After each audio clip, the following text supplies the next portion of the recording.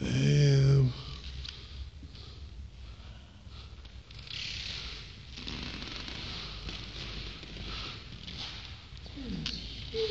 It is. My God. Royals Yeah. Oh yeah, yeah, of course. Then they could have the, the, the ball here, and then the Royals. They could talk to the people. Fucking hell. I know. these people have more money than we could ever imagine. yeah. Here's to pay somebody to put that stuff up there. Yeah. That was not a small feat.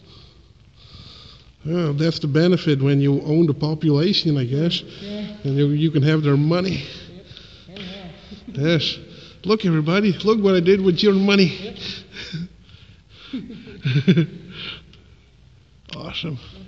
Uh, uh, well, once we establish the empire, honey, we'll go like this. Oh yeah.